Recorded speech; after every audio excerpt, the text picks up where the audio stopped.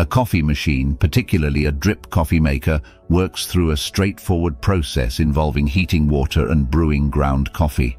Here's a step-by-step explanation of how it operates. Water reservoir. The user fills the machine's water reservoir with the desired amount of water. This reservoir is usually marked with measurements to help determine the number of cups of coffee to be brewed. Heating element. The machine contains a heating element, typically located at the base, which heats the water. Heating and dripping. Heating. As the water passes through the heating element, it gets heated to the optimal brewing temperature, usually between 195 Fahrenheit and 205 Fahrenheit or 90 degrees Celsius and 96 degrees Celsius. Dripping. The hot water then moves through a tube, often an aluminum tube, and it is dispersed over the ground coffee. Brewing, the hot water seeps through the coffee grounds contained in a filter which can be paper, metal or cloth.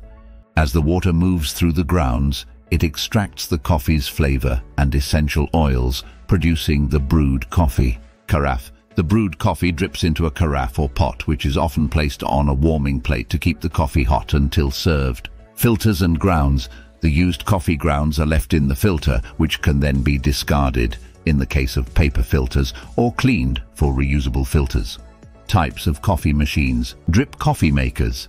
As described above, they use gravity to feed hot water through the coffee grounds and filter into a carafe. Single-serve pod machines use pre-packaged coffee pods. Water is heated and forced through the pod to brew a single cup of coffee. Espresso machines force hot water through finely ground coffee under high pressure to make espresso. These machines often include a steam wand for frothing milk. French press, not a machine per se, but a manual method where ground coffee and hot water steep together before being separated by pressing a plunger through a mesh filter.